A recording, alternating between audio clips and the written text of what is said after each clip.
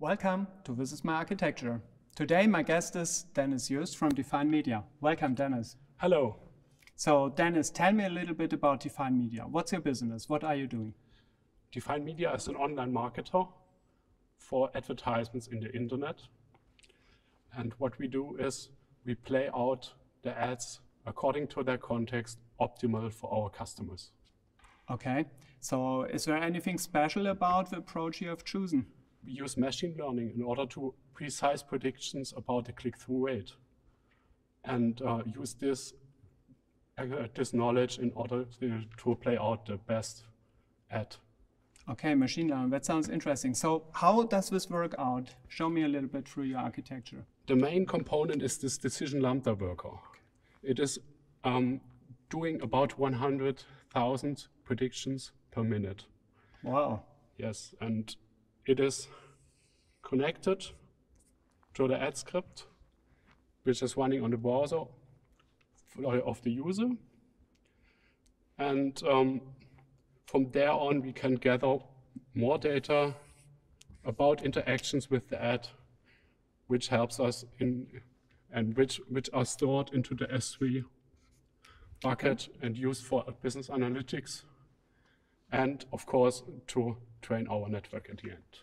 Okay, cool. So what kind of data does this um, machine learning part in the Lambda function need to make its decisions? So uh, mostly the measurements from here. Okay. Was it a click or not? This is yeah. the target size we predict. But of course, we need some more information about the pages where the ad is played, about the placement, where mm -hmm. on the page, where was it placed, and of course, we um, have some additional information about the location where the user was, was when, the, when the ad was played.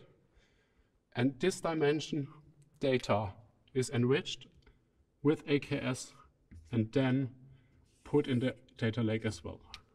Okay, so typically machine learning um, needs a little bit of time to compute. And for advertisement business, um, you need to get a really low latency. That's my mm. understanding. So, what's the secret sauce you are applying here to make it fast? So, actually, we divided the inference of the neural network into two steps. At first, in the EKS, we just embed the, the data into embeddings that we can use in the Lambda worker to really do fast decisions. Okay. We only have to execute then the head of the network, and the rest is done in the EKS Okay, awesome. Okay, Dennis. So, um, what's on your wish list for AWS? What are you planning to use in the future?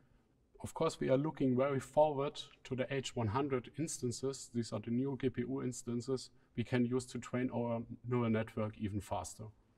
Dennis, thanks for sharing. That was very insightful.